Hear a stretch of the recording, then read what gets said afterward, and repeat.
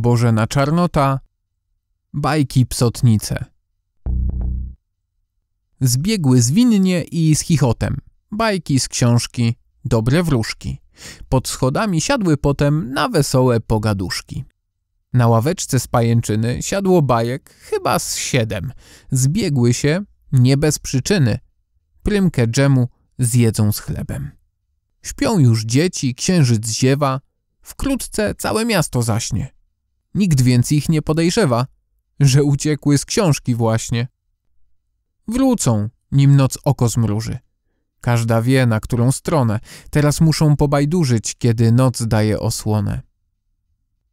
W dzień chce bajki czytać Basia, Antosiowi czyta mama.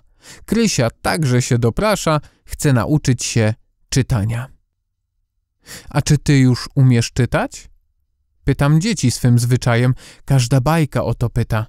Mało kto nie lubi bajek. Czy poznałeś już litery? Z dużym brzuszkiem i te chude? Nagle słyszę głosik szczery. Czytam. Wcale się nie nudzę. Czytał oczywiście tata Mariusz, czyli Mariusz Rzepka. Jeśli podoba Ci się to, co robię, wpisz w Google krzyżyk tata Mariusz i wybierz najwygodniejszą ścieżkę do pozostania na bieżąco. Ilisku, dzięki, że jesteś i do usłyszenia.